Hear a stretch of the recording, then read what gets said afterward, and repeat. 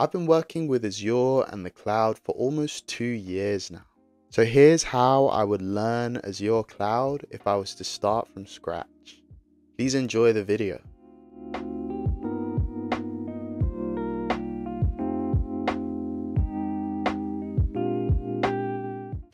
Two years into my career and I've worked two different roles in cloud computing. I started my cloud career as a junior Azure administrator. I worked as a junior for about three months before I was moved up to just an Azure administrator role, so an associate role. Picked up a lot of experience there, and shortly after that, I moved into a role as a cloud security engineer, working with Azure and 365. So I've definitely had a good career path so far. I'm thankful for that, and I'm still learning a lot and growing to further that career. My career path has already involved different aspects of the cloud, and I hope it continues to do so. But if I was to start again from scratch, as someone who knew nothing about cloud computing or Azure, here's how I would do it. Hopefully, these steps can help those who want to do the same. So let's pretend I know nothing about cloud computing, I haven't worked in the role, I have no experience, and I barely even know what Azure is. Here's what I'll do first.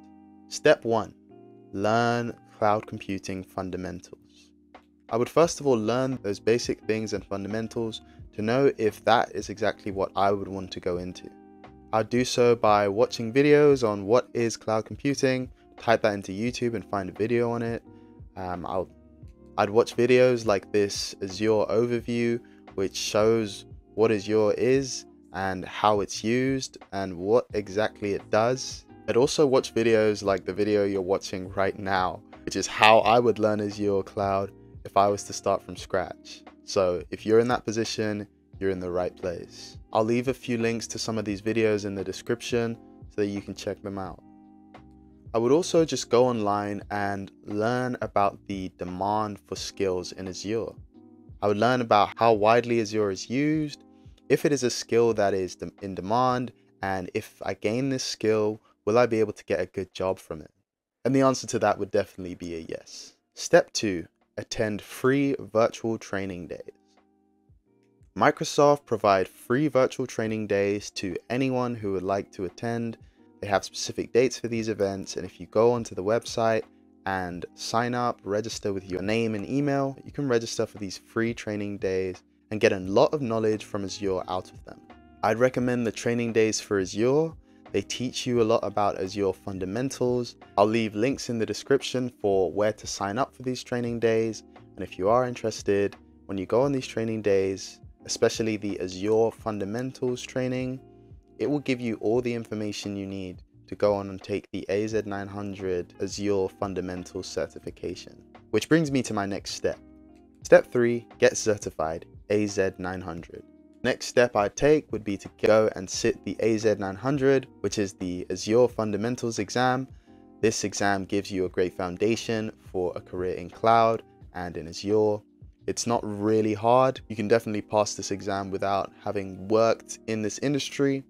So that would be the that would be a big recommendation to go and sit the AZ900, pass and get that certification. I've got a video on how I sat and passed that certification, so do go check that out. I'll leave a link in the description for that also.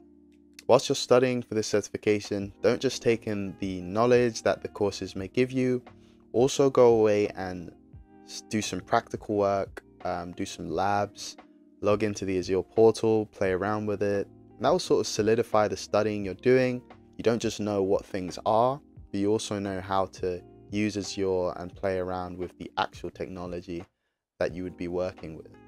Once you're certified and you've done some hands-on work with labs and practical stuff in Azure, it's now step four, time to search for your first Azure role.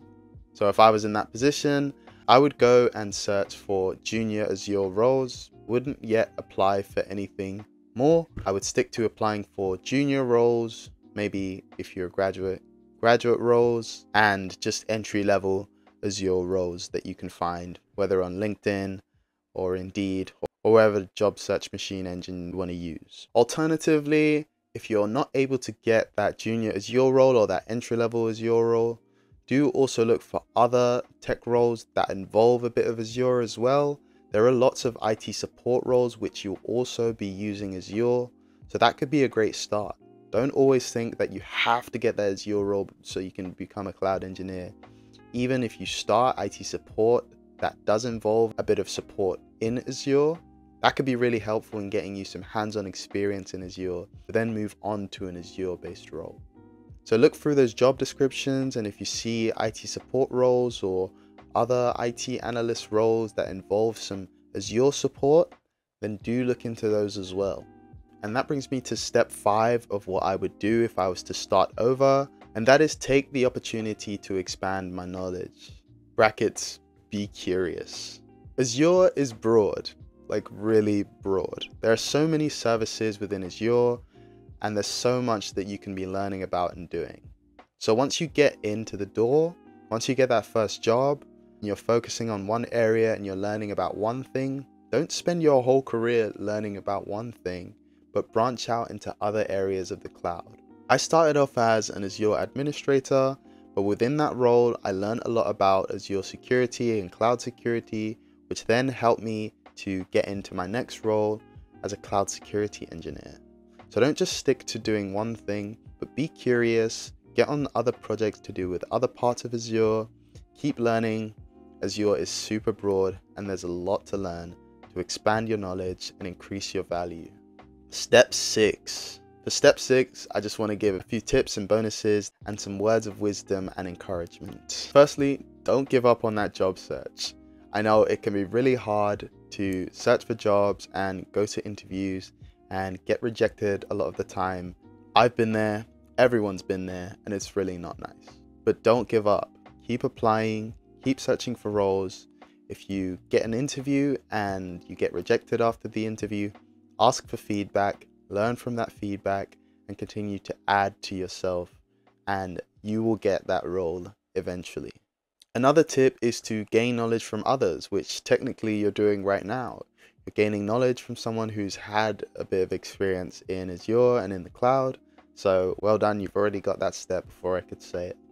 Also learn from people around you who are in tech and who are in cloud computing as well. It's always really helpful to learn from people who are in the position that you want to be in. Finally, whichever step you're on or whichever position you're at, don't stop learning. If you're just searching for a job, keep learning about Azure, keep expanding your knowledge. If you've already got your first job, keep expanding your knowledge. If you're five years into working in the cloud computing, keep expanding your knowledge. Don't stop learning. Technology changes so quickly. Things change all the time. There's always updates. There's always new technology. So keep learning to keep your skills up to date and to increase your value as the world moves on in technology, as new innovations come into play. Keep learning. Be sure to follow me on LinkedIn and Instagram as well. Thank you guys for watching. Don't forget to like, comment, and subscribe. And I'll see you guys in the next video.